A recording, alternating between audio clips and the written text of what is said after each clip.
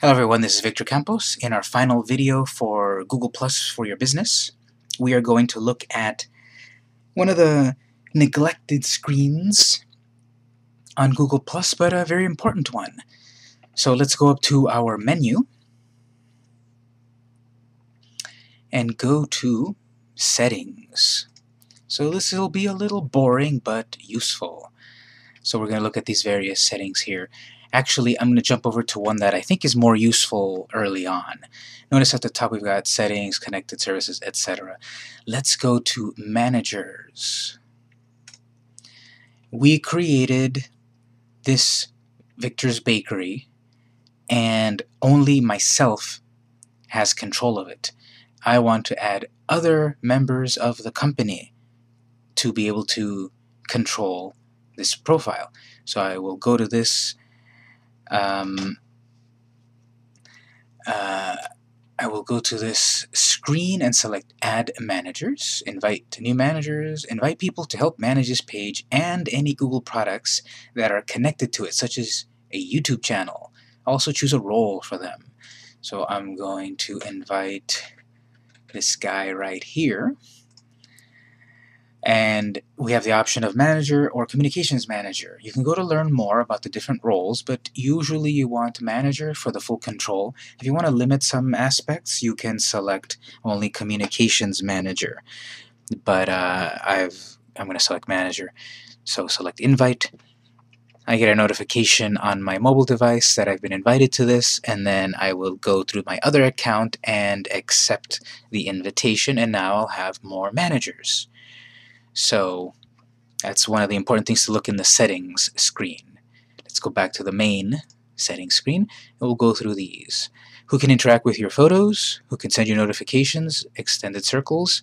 This is how this happens when uh, you post something and you can select public, uh, your circles, or extended circles. Notice here it's turned on and it's on by default to people. So if you don't want to be bothered by extended circles,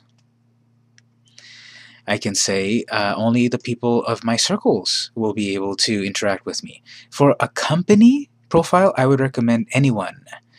As you start to get more popular, perhaps then whittle down who can uh, interact with you there, but at the beginning you want as much interaction as possible. Who can comment on your public posts? Well, it's public, so anyone should, but again, you can edit that. Who can hang out with you? Change settings for invites from people who haven't contacted you yet. Let's see what's under Customize. A lot to do here. If you are following someone, there will be an invite. If someone's in your customers, they'll be able to hang out with you, etc., etc. Companies, foodies, etc.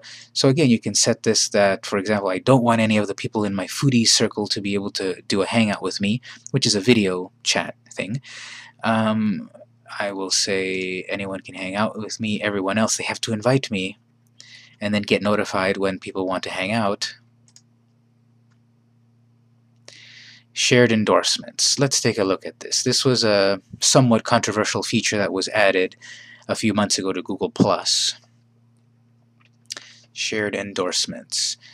Google makes it easy for you and your page's followers to get great recommendations. For example, when you visit Google Play, you may see that an artist whose Google Plus page you follow has plus one her album. When you reach when you search for a restaurant, you may see an ad including a five-star review by cooking experts whose page you follow. We call these shared endorsements. Here's what you need to know. You're in control, etc. Read that on your own. But basically what this is saying, do you give Google the ability to have your profile picture associated with some sort of content online. For example, if you review something, can it show your picture? Uh, if you have plus one something, can it show your picture? Um, so this was controversial because people said, well, I don't want my content to be spread out uh, on a way that I don't intend. Okay, no problem. You can just turn it off right there. Um, turn it off, save, and it won't it won't be a bother. I do have to say though, if this is your Google Plus business page, and again, it's a public entity, it's not your private profile, it's uh, it's in the service of getting you more followers, more plus ones, more activity, I would recommend to to have this feature on. If you want to turn it off, it's simply found in the settings under the shared endorsements. Notification delivery. Uh, I'm going to select to change that because it might I might want a different address. Notifications are currently delivered to the page's owner's notification address. Click change to use a different one. So if I had uh, Victor at victorsbakery.com, here's a place where I would um, where I can get notifications sent to, which I have to verify. No problem. I can add a phone number, manage subscriptions, occasional updates about Google Plus, that's off, so I won't get any of these um, update emails. Occasional updates from people outside your circles, no, I don't want that, perhaps. Yes, I do want that. It's as easy as turning it on or off. So people that are outside my circles, would I get an update from them? Uh, now this is going to be an email to the email address that you've set up for the business, so you have to decide what makes sense for you. What type of notifications? On posts, if I am mentioned in a post, send me an email. If a post is shared with me, send me an email. Comments, etc., etc. These are straightforward, and you can decide if you're going to get an email about them or not. What happens when circles happen? Uh, someone adds you, etc., etc. So you can go in and decide what's too much email. At a certain point, you may be getting too many emails, so you can turn these things off.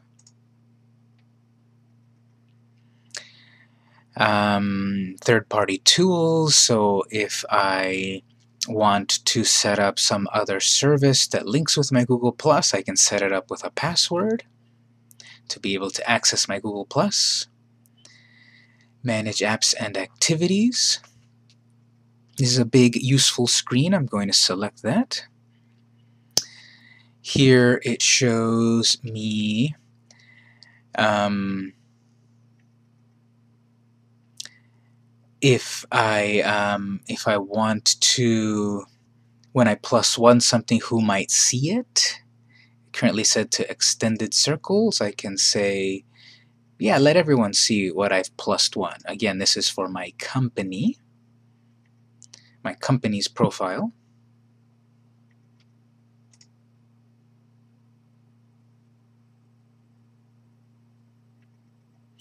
So let's say I change that. I can go look at the log. This is a, a log of things that I've done so far, like plus one the Food Network and such. I can remove that so it's not part of my history.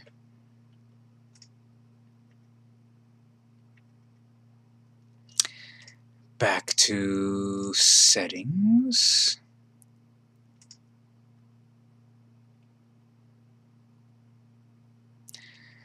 Your circles. When you share photos, posts, etc. with things in your circles, you're sharing it with all of your circles except the ones you're just following. To customize that, again, if I select Share with my circles, it will go to customers, VIPs, team members, San Diego people, but not to companies or foodies. So this is something also that I believe you need to get in and change right away. Uh, but you do want to share with as many people as possible. So I'll save that. Change the presentation of some pages to work better with screen readers. So if you need, if you have accessibility requirements, this is where you can set it up.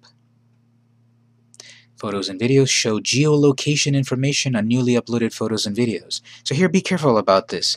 Let's say you're posting photos from your business location. You want it to be tagged with a location so people can find it and go uh, go to your business. But if you're doing this from a personal account, perhaps you don't want this on. Allow viewers to download my photos and videos. Again, it's up to you. If you don't want your content to be downloaded, uh, turn that off.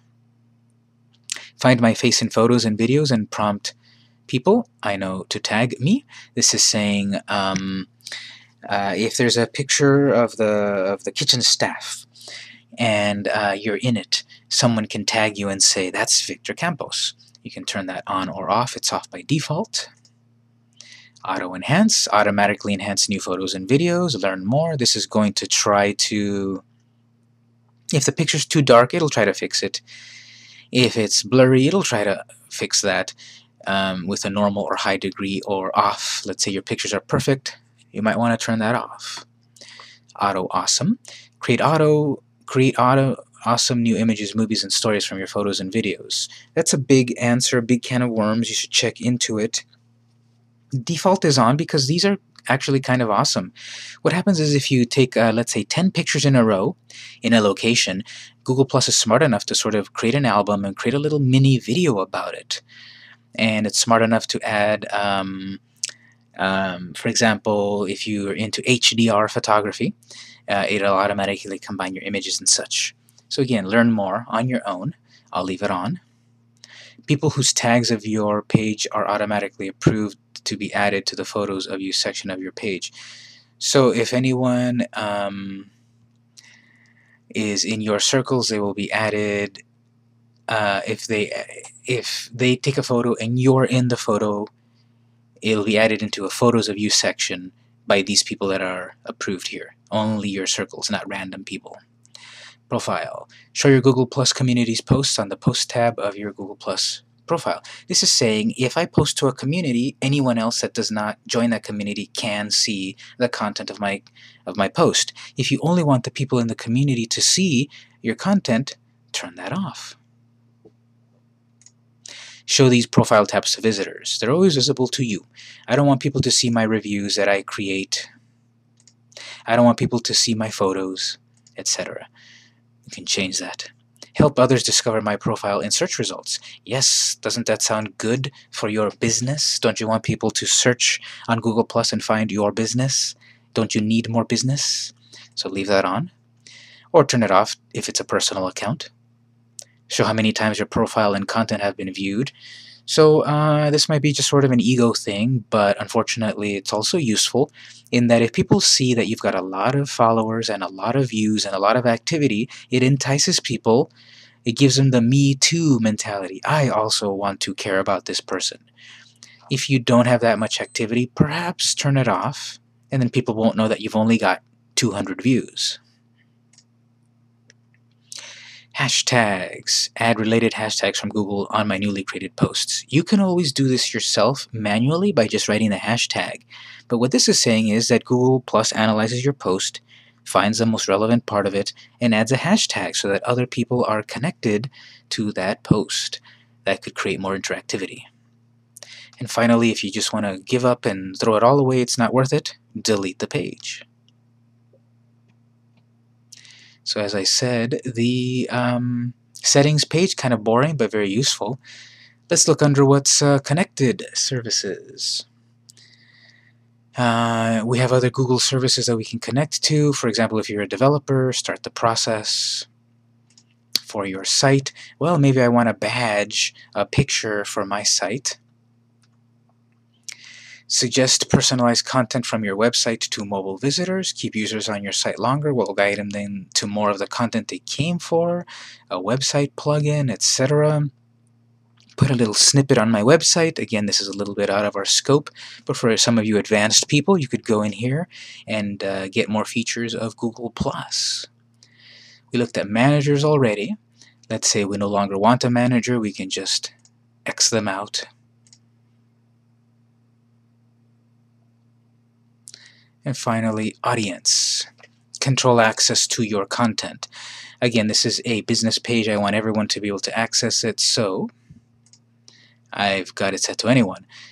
If this is related to, depending on your locality, you can have this only for users that are 18 and older, 21 and older, or alcohol related. What that means is that different countries have different restrictions on the age of drinking. Canada and uh, Mexico can drink younger than the US, for example, so you want to select that if your page is about alcohol. Then we've got also custom. Please select the countries and users who should be able to view your content. And again, it gets more country specific, but you could go on and set that up. So I'm going to go back to my stream discard changes, that's fine. That was our settings screen. I invite you to check that out when you can to see more of the nuts and bolts of Google+. We're going to wrap up the lecture on Google Plus in the next video, so come back for that.